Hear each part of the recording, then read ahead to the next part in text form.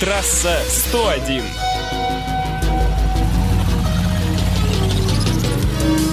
Приветствую, в эфире трасса 101. Владимир Сметанин не нарушает. Почти. Пора переобуваться, причем срочно. По данным синоптиков, во многих российских городах европейской части страны в ближайшие дни ожидаются снегопады и понижение температуры до отрицательных значений. Это касается и Кирова. В выходные 21-22 октября днем у нас будет около ноля, ночью до минус 6. Трасса 101.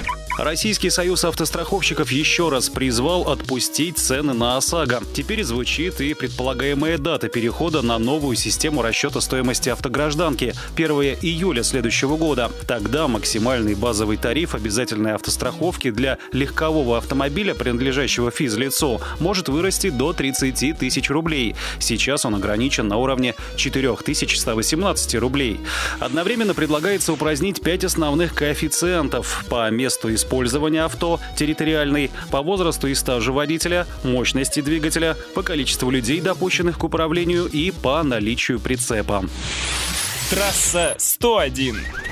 В России снижается число ДТП по вине начинающих водителей. Данная тенденция, по словам представителя ГИБДД, наблюдается уже несколько лет. Стражи дорожного порядка связывают это с усложнением процедур сдачи теоретического и практического экзаменов на права. Готовиться к ним выпускники автошкол вынуждены тщательней. Ранее, добавлю, публиковались сведения о том, что водителями-виновниками ДТП у нас являются в основном зрелые мужчины с немалым стажем. Обновленный Toyota Land Cruiser Prado будет стоить минимум 2 миллиона 199 тысяч рублей.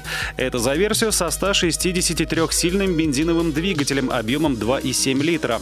Цены на внедорожник с турбодизельным мотором объемом 2,8 мощностью 177 лошадей начинаются от 2 миллионов 853 тысяч. Есть еще 4-литровый бензиновый агрегат V6 мощностью 249 лошадиных сил. Его наличие удорожает автомобиль минимум до 3 миллионов 205 тысяч рублей.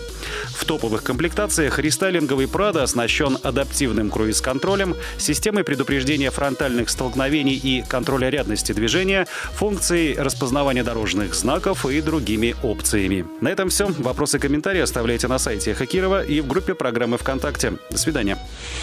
Трасса 101.